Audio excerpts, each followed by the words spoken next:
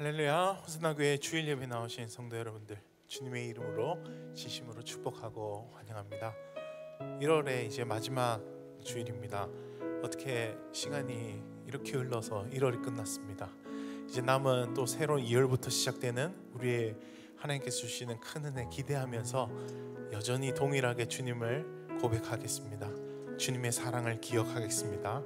함께 찬양한 시간 되길 소원합니다 다 함께 일어나셔서 찬양하도록 하겠습니다.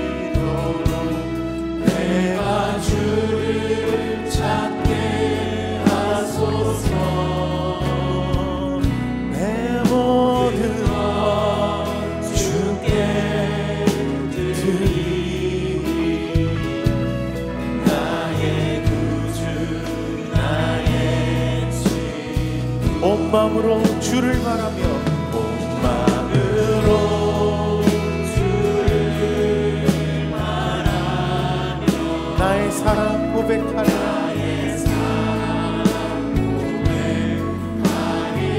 나를 향한